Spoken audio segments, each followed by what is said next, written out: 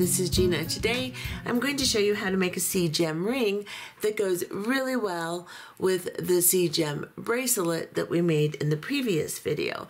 So they're matching pieces. And this little top piece was so perfect for a ring that I thought, well, let's go ahead and make a ring. Now let me take it off and I will show you what it looks like on um, the bead mat here. I made it fit nice and well, so give me a second here. And this is what it looks like. So let me get it close so you can see. You have this really nice little band. That's a little too close. And this is what it looks like. Let me lay it down. Turned out really, really pretty. So let's go ahead and look and see what it takes to make this ring. And um, we'll get started. Okay, for this project, we will be using one of the beads that was in the strand of the flat and frosted beads that are in your treasure bag, the Deep Sea Jewels treasure bag.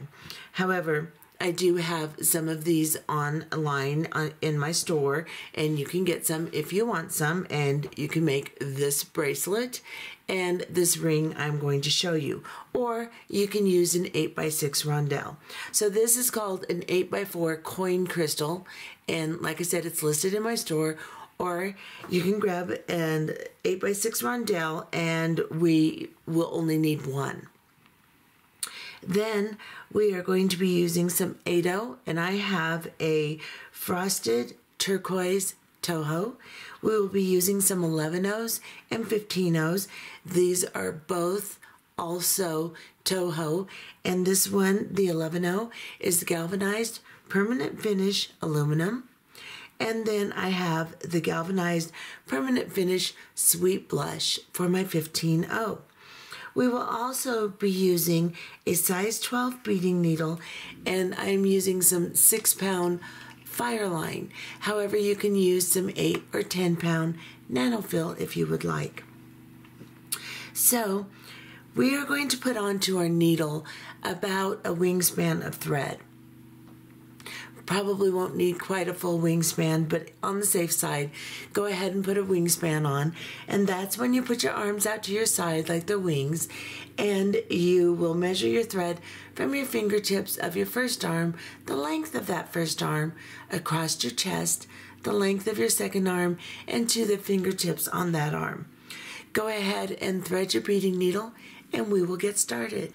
Okay, to start this project, we are going to pick up onto our needle the one crystal. So you either have an 8x4 coin crystal or you have an 8x6 rondelle. Pick it up and then pick up three 11 seed beads and one 8 seed bead and three 11 O's. Now, in the bracelet, we did our units just a little bit differently because we had to do multiple units. Because if we are doing a single unit, we're going to do it modified from what we did the bracelet. So you're going to pick up this combination of beads and you're going to bring it down to the end of your thread. Just leave enough of a tail to tie a knot with. And then go back up through just the large crystal and hold on to your tail, hold on to the crystal, push your needle through, and then just pull your thread until the beads wrap around the crystal just like this. And then you are going to pick up three 11 seed beads and a 8 and then three 11 O's. And we are going to go back into the crystal from the side that the tail is coming out of. So this is your working thread. You're going to go into the opposite side, ignoring the tail, and just come through. Pull on the tail and the working thread and tighten the beads around the big bead. Now they're not going to stay. So what we're going to do is we're going to sew back up the 11 O's and 8 O and get to where the tail is and tie a knot. So we're coming out of the big bead, we're going to go up into 311 O's on one side of the crystal and the 8 O. And then the other 311 O's behind the 8 O, just like this. Now, this is what you should have.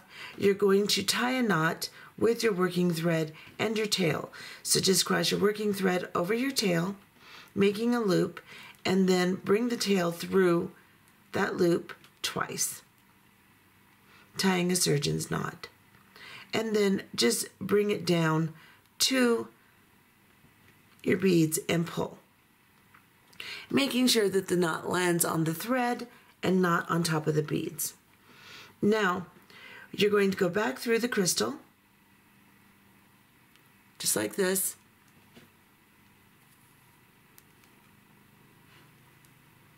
And then we are going to go through the 11 O's and 8 O again. So we're going to go through these three 11 O's here, this 8 O, and the three 11 O's behind it. Well, the angle is such I can't get that third one. Oh, yes, I can. Okay. And I'm going to pull this through, tighten everything. It's like this. I'm coming out of the 11 O's here, and I'm going to cut this tail down a little bit. And then I'm going to pick up an 8 seed bead. I'm going from this 11 to this set of 11 O's. So straight across with an 8 O on my needle. And then I'll just go through those three 11 O's and the 8 O behind them and pull this down and tighten it. Then, oops, sorry about that. I will go through the next three 11 O's.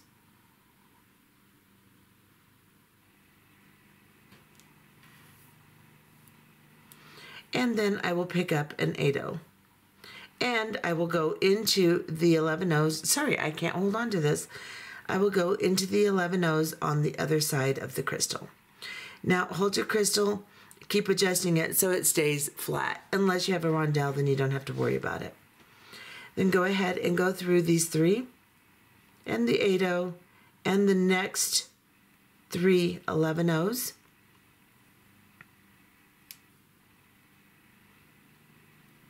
And 8 0 and this is what you have now. Now I'm going to burn this tail down just a little bit, just melt it down. And I am going to go from this 8-0 to the middle 11-0.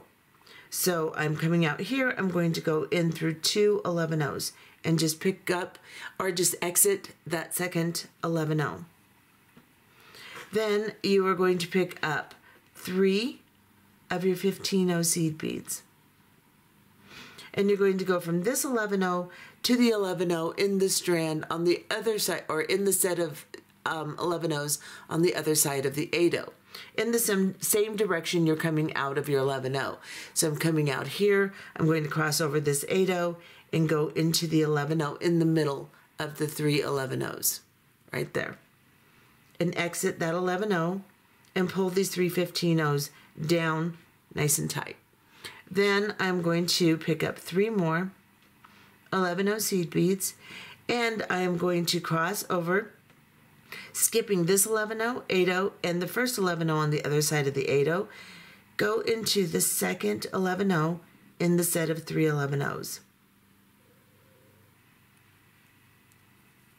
and then if it wants to go to the other side, just push it over and pull it down making sure at this point that you have your flat crystal flat and it's not on its side before you start doing this. Then pick up three 15 seed beads and go into the next 11 on the other side of the 8 So we're coming out here, we're going to go into this 11 here.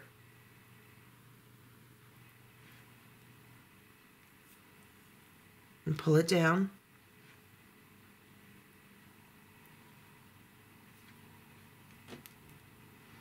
And then we're going to do that one more time. So pick up three more 11 OC, or excuse me, 15 O seed beads. We're coming out of this 11 O here. We have to go into the opposite side of the one we started in. Get you real close just for a moment. And we are going to go into this 11.0 here.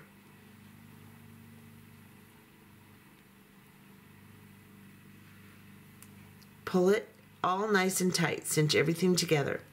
If you need to, you can sew back through the 11 O's and the 15 O's, but it should be fairly tight at this point. Now you're going to flip it over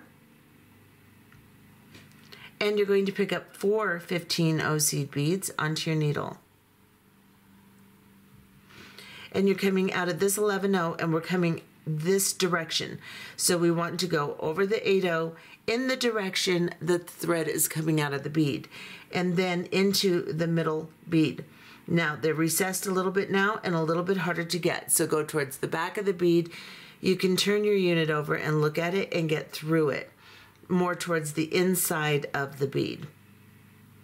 Pull these beads down and bring them over the 8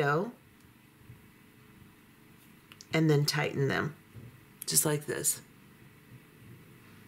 Three more 15 seed beads. You're coming out of this 11 in this direction. We're going to hop over this 8 here and go into the middle 11 and I'm going to show you what i ta I'm talking about. I'm going to turn it over and then I can go through this 11 towards the inside of the bead like this and I can get through it easier. Since it is recessed, that's the easiest way to do it. Then you can just turn your piece back over, straighten out your thread as you pull it down, and bring it forward over that 8 in the front of your unit here and pull it down, just like this. Do that again. Pick up four. I think I only picked up three on that one. Okay, so I'm going to alter this. I'm going to pick up three on uh, four on that one, three on this one, and then I'll do four on this one and three on that one. You can do all four. It would probably be better, but it looks like it's covering the thread pretty well to me. So on this one, I'm going to pick up four. Since I have four across on this side, I will keep it symmetrical. Then I'm going to turn this over and I'm going to go through the middle 11 0 again between the beads.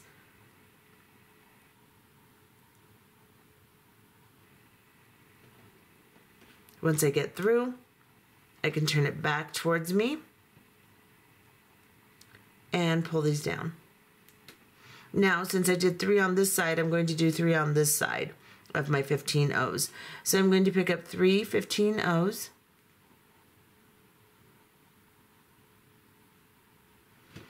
and I'm going to go from this 11 I'm coming out of into the opposite side of the one I started in. Let me get you really, really close just so you can see very well. The last one here, I'm going to turn it over, go into that middle bead towards the bottom of the bead on the back of the piece and pull. Then you will have to bring them over the top of that 8 -0. Sorry, I'm a little clumsy. Come on, get over the top. There we go. And pull them down nice and tight. And that's what the front of your ring will look like. Now, we're coming out of this 11-0 here. We're going to go directly up into the 11-0 that goes into the 8-0 here just like this. So we've gone into the 11-0 and 8-0. And now we are going to start the outside of our ring. So what we're going to do is we're going to pick up three 11-0 seed beads onto our needle. And we're going to go into the opposite side of the 8-0 that we're coming out of. Just like this. And pull this down. Now you're going to sew through all of those beads again. So up through the first one, and we're doing right angle weave, so going through each individual bead as you sew around is always advantageous because it keeps the shape of your unit a little bit better. So I'm going through all three, back into the 8 and then I'm going to go up through now I'm coming out of the 8 I'm going to come up through the 11 again on the side and then up through the top one here. Then I'm going to pick up three 11 seed beads and I'm going to go into the opposite side of the 11 I'm coming out of. Just a basic right angle weave is what we're going to do for our band. Now I can turn it over just so I can see it better and sew back through. So I'm coming out of the 11 we're attaching to. I'm going to go into the side 11 I'm going to go into the top 11 into the side one on this side here and then into the attaching one. And then I have to sew back up to the top so that I can make my next unit. So I'll go into this side one and then I'll go into the top one right here. And again, pick up three 11 seed beads. And this is the, it's just going to be repetitive to this point until we get the length that we want to make the band size that we want. So we're going to pick up three 11 O's, go into the opposite side of the 11 O you're coming out of, and pull them down. I'm going to turn it back over, and then I'm going to go through the first 11 O closest to where my thread is coming out, into the top, into the other side, right here, back into the bead I'm attaching to. Then I have to sew back up to the top. So I'm going to go here and here. And you're just going to continue doing that, making the right angle weave until you have two units longer than the length that you would like to achieve for your band because our next step is going to shrink it in. So let me demonstrate what I mean. I have 16 units. I'm shooting for a size 7 and what I'm going to do is I'm going to put it on my little finger because I have big fingers so this would be an average size for most people.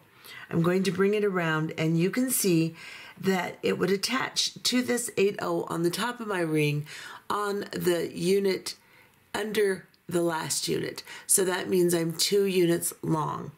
I'm also going to add a little bit more length by attaching it.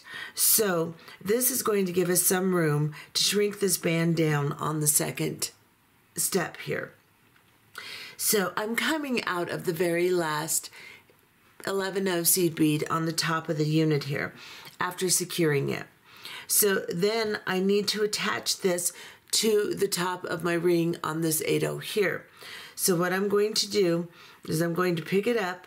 I'm going to wrap the band around my finger, making sure it does not twist so that I can see that this side of this 11 needs to go into this side of the 8 First, you pick up an 11 seed bead onto your needle, and then you go into that 8 and just the 8 just like this. Then you can let go of it and pull it through. Now I'm going to hold it over my finger like this and I'm going to pick up another 11 seed bead and go through that top 11 that I'm attaching to right there. I'm going to hold on to it and pull it up just like this and then I'm going to sew through it again to make sure it's secure. It's going to loosen up. That's okay because after you're finished, you will have it all pulled tight again. Then I'm going to go down into this 11-0 here. And then into the 11-0 I'm attaching to. Then for my next step, I have to sew back up into this 8 seed bead. So I'm going to go up, down, or up into the 11 into this 8 here, and then into the 11 on the side, right here. Then I'm going to place a 15 seed bead in between each one of these units of right angle weave to cinch it in to complete it and make it a solid band.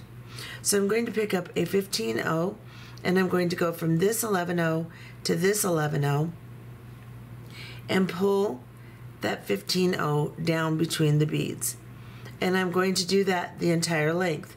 So I've come out of this unit here. Let me get you even closer. I'm coming out of this unit here. Make sure you get the next side one. They can be a little kind of cluttered up, so make sure you pick up the right one and go into to it with the 11 seed bead on your thread and pull the 11 between the beads. Or excuse me, a 15 So we're going from this 11 to this 11 placing a 15 seed bead in between. And we're going to do that the entire length of the band. When you get all the way down to the end here, we will be back. Okay, so I have put in my little 15 between all of the beads all the way to the very last 11 here. And once you get through that one, then you just slide through the 8 on the ring, right there on the top of the ring. And then you can just turn it this way and come up through this 11 on this side and start again. Pick up a 15 and go into the 11 next to the one that you're coming out of. Oh, come here. Right there. And continue again all the way around till you get to the end and we will be back and tie it off. Okay, so I have gone all the way around. Let me throw my ring across the room. I have gone all the way around now, and I'm coming out of the last 11 0. At this point, give your thread a nice tug so that you cinch everything in tight, and you should do that before you start the second side too, to tighten the first. And you can see that it cinched everything up and made a really nice band for me. Let me back off just a little bit here so you can see what this looks like. Now, I'm going to make sure that this is nice and tight give it a nice little tug. I'm going to go up through the 8 seed bead here. Come here. And once I go through it, I'll tug it again to make sure I have all the tension that I need. And then let's get in really close again. Here, between this 11-0 and 8-0 that you're coming out of, you, or let's go down to the band part. So between this 8 and this 11 I'm going to go in between the stitch underneath the thread bridge there, make a loop, go through the loop, and draw it down between my beads. I'm going to guide that thread so it goes in the proper place right there. Then I'm just going to sew down. Come here. Get into this 11 and sew down a few of them here. And so between this 15.0 and this 11.0, or I can actually even go between this 11.0 and this 11.0, see what I can grab. Now, I'm going to have to grab on this part here. I'm going to go between the stitch and between the beads and tie another knot. Making sure as I drag this down, I get it between my beads and pull that knot down. Just like that and then I can go into this 11 in the middle here so that I can travel down on the other side and I'll just travel down a few beads here. You could knot it as many times as you would like. I'm just going to sew down several beads and cut it off and end it so that my tutorial isn't 900 years long. So I'm just going to cut this off leaving a tag of thread here, just like this, and I am going to melt that down. Now I can arrange my center stone a little bit and wipe it off from all the oils that I put on my hands to keep them not from blowing away and being dry. So this is what this looks like now. Let me back off. This is really cute. I'm going to see if it fits. And it does. It fits fine. It might even fit this finger. So you can go, it was a little bit bigger than I was aiming for, so you could just go one unit bigger instead of two of the length you wanted. And that will work fine too. Just do a little experimenting with it. I'm designing, so um, I think that worked out just fine. And that should be, this is, this finger is a size seven, a little over a size seven, so it should work fine. This one is more a size six. But um, it worked out just fine. And then I have the bracelet. Now I just twisted it all up like a dummy. And, I mean, and twist it. Oh, come on. Okay, so this is what this looks like with the bracelet. I think it's really, really, really cute. Just like that. And I hope you enjoyed this tutorial and that you make one. And like I said, you don't have to have this bead, though it sits really nice for this type of setting uh, rondelle looks really pretty in the setting too. It's a little bit higher up, but it still works really nicely. So you can do this ring regardless if you have these beads or not. If you want some of these beads, I do have some. So I will put a link in the um, description box beneath the video player. And if you liked this tutorial, please give me a like and consider hitting the subscribe button and the notification bell so that we can continue making pieces together. I apologize for my voice. It comes and goes as it pleases lately. So hopefully soon it'll stop doing that. Anyway, have a good day. Bye bye.